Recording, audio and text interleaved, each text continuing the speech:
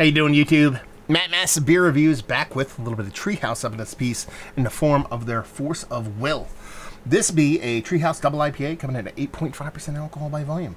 I'm not going to read the back of this. We're just going to dive right in. Yeah, because they give tasty notes. I'd rather skip them. Maybe we'll read them a little bit later.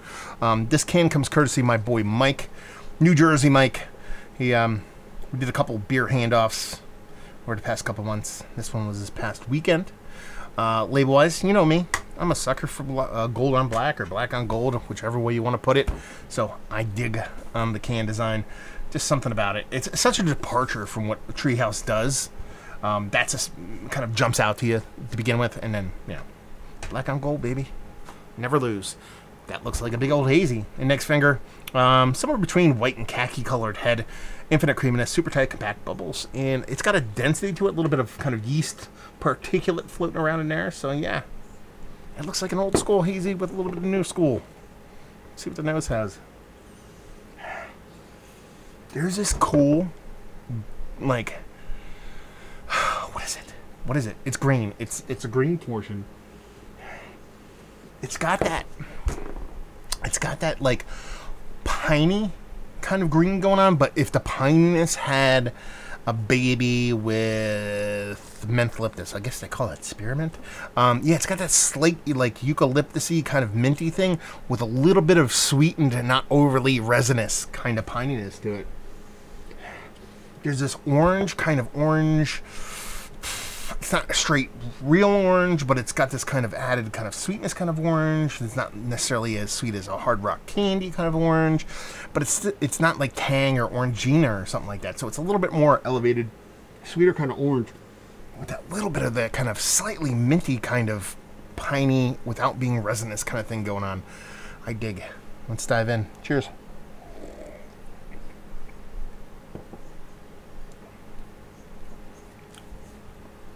That's pretty cool. I dig that. It tastes exactly like it smells, which is really bizarre. The only thing that really comes jumps out at me, uh, outside of like the mouthfeel and things that you wouldn't really get off the nose, even though I smell mouthfeel every now and then because I'm an asshole like that, um, is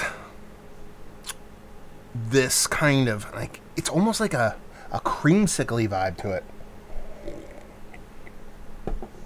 yeah, like a cream, creamy, kind of heavily oated, not lactose, kind of creamsicle kind of thing going on there. So you get that orange thing. Definitely gets a little bit more organic orange in the taste that it does off the nose. Once you start to lean into that little bit of heavy oating, it gives you a little bit of a kind of extra dollop of creme, kind of like an adult dessert with a little bit of dollop of creme on it, kind of thing. That green minty thing is more a nose uh, thing than an actual tasting because it really does come off kind of a generic weedy green, but not in a negative way. It's quite nice in the actual taste. There's a really sharp kind of piece of bittering halfway through um, a taste. Um, I, I, attribute that to a little bit of carbonic acid, just kind of that seems to be the mo with Treehouse as of late. So it might be just that, but it's it's so minimal um, compared to everything else. It's not like dampening the beer or anything like that. I like this. It's very not treehousey beer. Let's put it that way. Yeah, I like it. It's fun. Let's read the notes now. Uh, tropical blend of American hops. Yeah. Hyper focused important circumstances. Mouthfeel. Body. Hop density. Yeah. Doesn't really. Okay, here we go. Peach nectar, mango puree, and pineapple juice. Grace the palate carried by supple and mouthfeel and hopeful, whatever.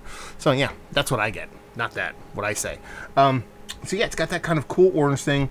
Comes off slightly kind of an ele elevated sweet kind of orange in the nose that kind of rides in this kind of more organic orange with a dollop of creme on top of it. That green on the nose has this bit of mintiness that kind of eschews the actual taste and ends up being more of a traditional kind of hop pellet kind of greenness, but not like a burn or anything like that.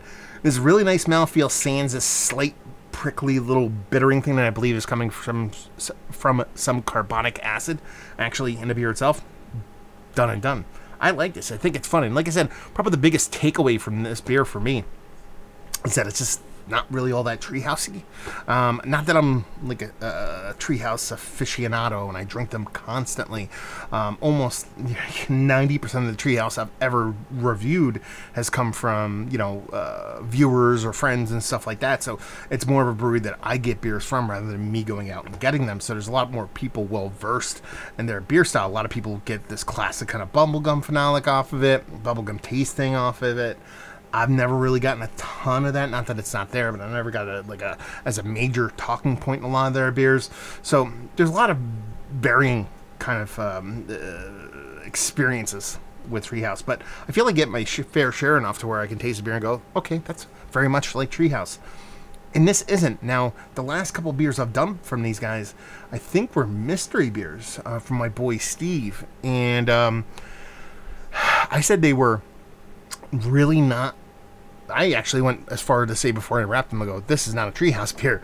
Um, they were very much not treehouse, but in a kind of negative way. This is very much not like a treehouse, but a kind of positive way, if that makes any sense.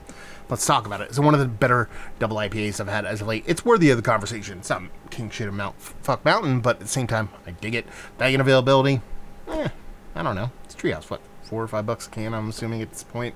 And brewery only, and leave you with if you like what we like this if you like that kind of combination, it's not necessarily you're like Treehouse, you like this, um, but if you like that kind of way that orange kind of spins, that little dollop of that kind of a little bit of creamsicle thing kind of going on with that cool minty nose, which I wish followed through in the taste, but it's there in the nose, so kudos to that. Yeah, if you dig those kind of tastes, man, then you'll dig this. So there you go another review in the books. Hopefully, you guys enjoyed it. Down there, if you want to talk about it, Massive Beers. If you want to check me out in the social media stuff, Beer Massive. want to check me out in the whole podcasting thing, and hopefully, you guys enjoyed the review. Hopefully, you're enjoying a little treehouse right now. Hope we'll see you next time. Cheers.